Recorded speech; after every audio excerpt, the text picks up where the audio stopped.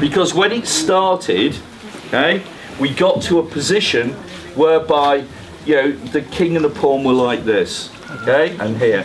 And if you're white, you can't force a win. You try, try and outmaneuver them, see, see if they go wrong, but you can't force the win. However, okay, however, if you arrive at this position, Really good. white actually is winning. Unbelievable.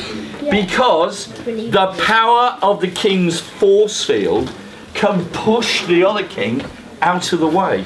Let's see, because if he goes back, I'm going to come here. This we call it, you know, keeping opposite him. Um, wow, maybe he goes to the side. I'll move to this side. Okay. Now look, look. Yeah, if he comes here, now I'll bring that. Look, the pawn can run almost through here. So, so maybe he'll go. I don't know. Whoops. Maybe he'll go here. I'll come here. Maybe he'll move back. Shall I bring the pawn up again? Okay. Maybe he moved king here.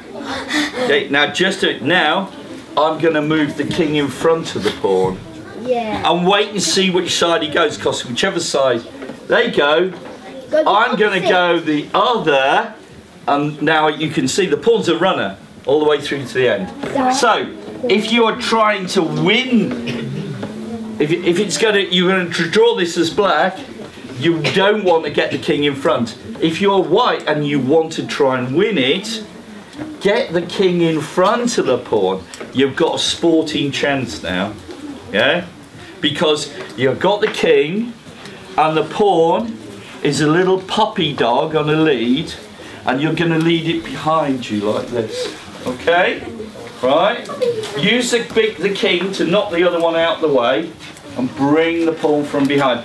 It's a little bit logical because you really want to get the pawn to the end don't you and you think oh get down get down but no yeah, if you get the king first to push the other king out the way and bring the little puppy dog behind you, yeah, then that's the way to do it. A scary big dog. Well, uh, when you get to there, absolutely, big queen, that'd be excellent, yeah.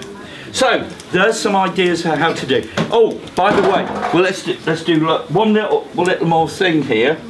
Okay, if you have two pawns like this, this poor king can't stop both of them. Yeah. Unless If he, if I move this one, and they go, oh no, I'm going to come and chase you, then you can send the other one down. Can't deal with two. no. Okay? No, no, I'm going to come back and stop this one. No, I'm going to send this one down there. So you just can't sprint it.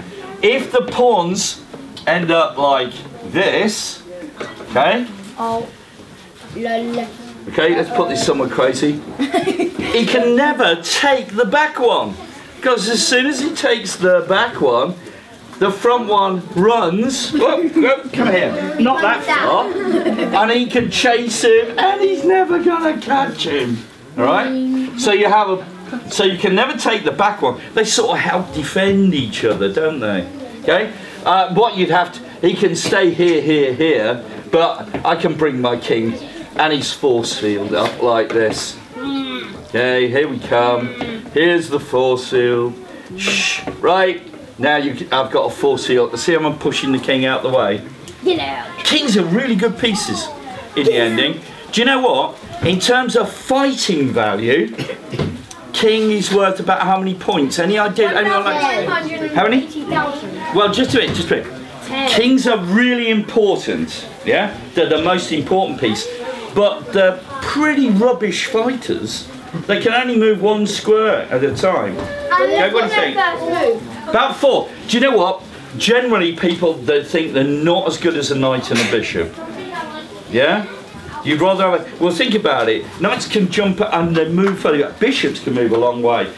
But kings can only control eight squares around them. Yeah? As a fighter, about two and a half. Better than two pawns, but not as good as three. Okay? 'Cause- but they are pretty good. I mean, it may well be. They're You've only got pawns and a king. Your best fighter might be your king. Yeah? The best fighter in Endgames is the king. He's a pretty. Well, I think If of Queen's.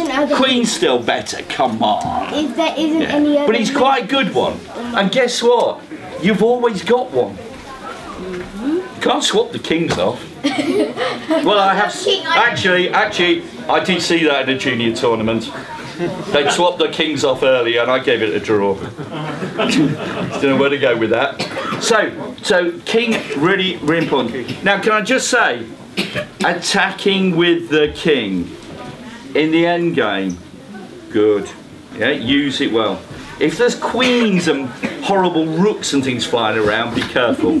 What what do you think about attacking in the opening with your king? What do you reckon? No? Really bad move. Why? Because um, because he's at, because the other king's got loads and loads and loads of friends, and Yeah. his friends. The whole army. Yeah. Do not go and attack with your king while there's queens and rooks and things around, because you're quite likely to lose it. The last king of England to attack another king by charging with a few knights into the middle of the battle was Richard III. And somebody somebody killed his horse from under him, and he, he, he never got out the battle. He was the last king to die in, in battle. Right? So don't do that. Don't send your king off in the opening, even in the middle part of the game. No. But at the end, he can be a really powerful. He can be your best piece. Okay? Right. Should we go and play some chess? Yeah. Best luck in the good luck in the last round.